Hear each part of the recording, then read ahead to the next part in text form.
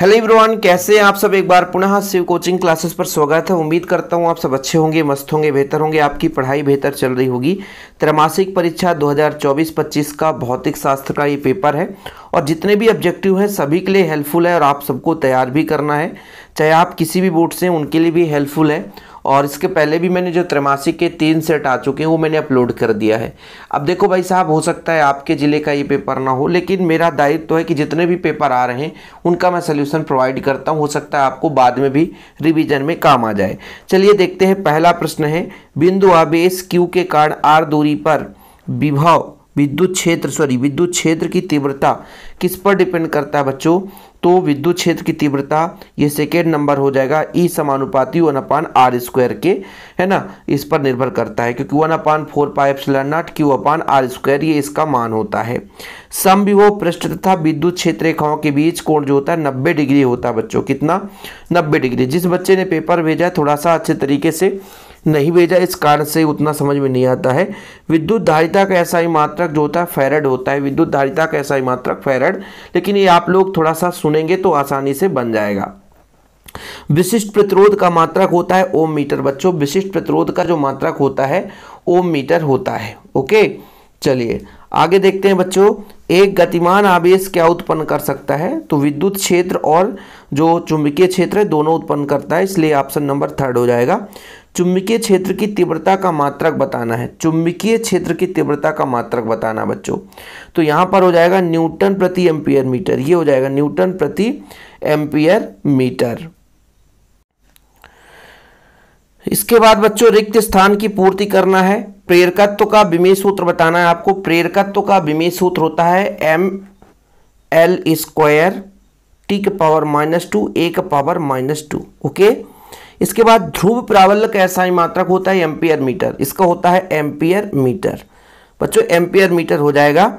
ऐसा ही पद्धति में चुंबकशीलता का मात्रक म्यू का मात्रक कितना होता है? हेनरी प्रति मीटर होता है और न्यूटन एम, बटे एम्पियर स्क्वायर। न्यूटन प्रति एम्पियर स्क्वायर। तो आप एम्पियर में ऐसा लिखें न्यूटन प्रति एम्पियर स्क्वायर। इसके बाद एक फेरेड, एक कुलाम बटे एक बोल्ट के बराबर होता है। एक कुलाम बटे एक बोल्ट। आवेश का विमी सूत्र धारा गुणे समय, यानी ए और टी हो जाएगा। इसके बाद यहाँ पे सही जोड़ी मिलान करना है। देखिए, यहाँ पर गलत भी रहेगा। एक क्वेश्चन गलत है यहाँ पे। तो चुंबकीय क्षेत्र का टेस्ला होता है, ध्रुव प्राबल्य का टेस्ला मिलाएँगे यहाँ पर, क्योंकि देखिए, धारा घनत्व का मात्रक होगा बच्चों, एम्पियर प्रति मीटर स्क्वायर। विद्युत विभव जो है, यहाँ पे देखिए, धारिता जो है फायरड पे चला जाएगा। विद्युत विभव जो है, जूल प्रति कुलाम में चला जाएगा। लारेंज बल क्यू वी साइन थीटा और धारा पितरक किरचाप ने दिया था। तो यहाँ पर ध्रुव प्राबल का टेस्ला से जाएगा, चुंबकीय क्षेत्र से जाएगा, जबकि कुछ अलग होना चाहिए। आवेश कैसा ही मात्रा कोलाम होता है। पृथ्वी का विभव शून्य होता है। तार की लंबाई 100 सेंटीमीटर होता है। धारा मापी धारा की दिशा बताता है। भू चुंबकीय बल रेखाएँ कैसी होती है? तो आपके चुंबकीय ध्रुव जो आपका एन होता है बच्चों, उत्तरी ध्रुव, यहाँ पर चुंबकीय क्षेत्र रेखाएँ प्रवेश करती है और दक्षिणी ध्रुव से निकलती है। ये आप चुंबक और भू चुंबक में अंतर है ध्यान से समझिएगा। क्योंकि जो चुंबकीय क्षेत्र रेखाएँ होती है क्षण चुंबक में एन से निकलकर एस पे समाप्त होती है, लेकिन पृथ्वी में ऐसा नहीं होता है। ठीक है बच्चों, उसका उल्टा होता है।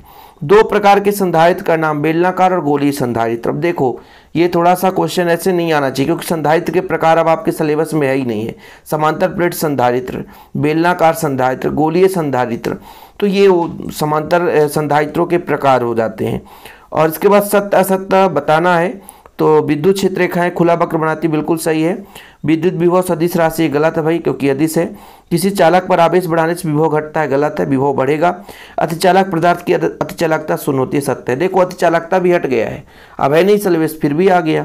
संट श्रेणी क्रम में जोड़ा जाता है, नहीं, समांतर क्रम में जोड़ा जाता है। लेंज का नियम ऊर्जा संरक्षण के अनुकूल है तो बिल्कुल सत्य है।